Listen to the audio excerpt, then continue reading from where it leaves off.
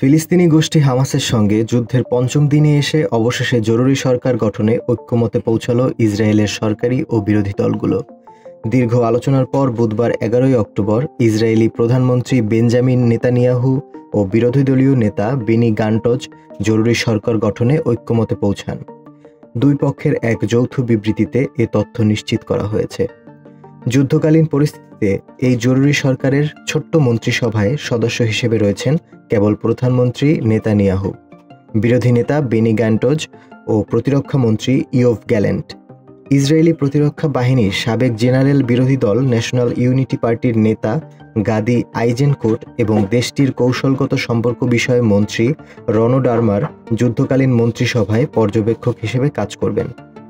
যুদ্ধের সময় national unity পার্টির পাঁচ সদস্যকে বৃহত্তর নিরাপত্তা মন্ত্রিসভায় যুক্ত করা হবে, যা প্রতিটি সরকারের অধীনে কাজ করবে।